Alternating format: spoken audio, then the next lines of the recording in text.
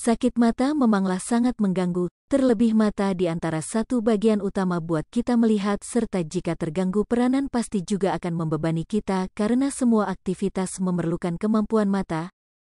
Tetapi sebelumnya bagaimana cara menyembuhkan sakit mata sebaiknya tahu apa sajakah penyebab sakit mata?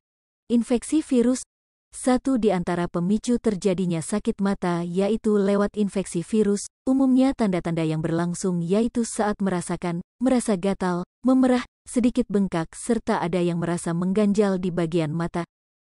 Infeksi bakteri Terkecuali lewat infeksi virus, sakit mata dapat juga berlangsung lewat infeksi bakteri, Penyakit mata yang disebabkan oleh bakteri yang dapat mengakibatkan penyakit mata yaitu bakteri Staphylococcus serta bakteri pneumococcus.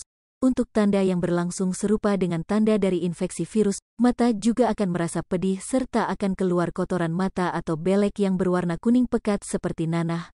Umumnya bangun tidur pada pagi hari mata juga akan susah untuk buka karena kotoran menempel di mata sampai cukup sulit untuk buka mata. Karena alergi jenis Sakit mata yang disebabkan alergi pada mata dapat juga mengakibatkan sakit mata seperti mata jadi merah serta merasa perih.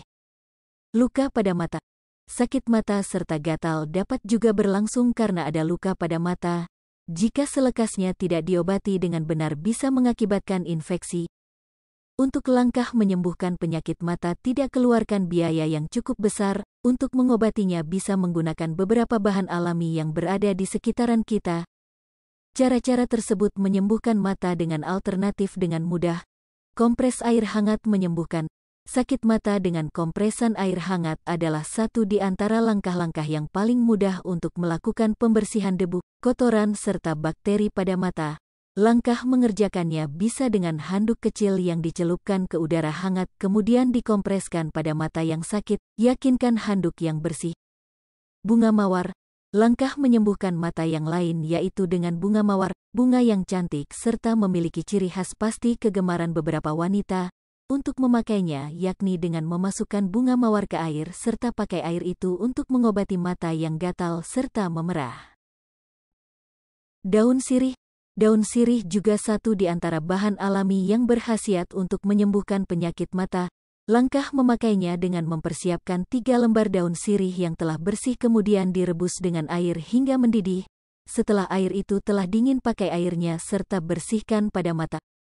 Mentimun iris Mentimun dapat juga menyembuhkan sakit mata serta merah pada mata, karena karakter antibakteri yang ada pada timun begitu ampuh untuk menangani penyakit mata seperti gatal serta merah pada mata. Kesegaran pada timun dapat juga memperingan kantung mata, untuk langkah memakainya cukup mudah, irislah timun dengan tidak tebal serta lekatkan pada mata sepanjang waktu. Madu, terkecuali khasiatnya dalam meningkatkan ketahanan badan, madu juga efisien untuk menyembuhkan mata, terutama mata yang belekan.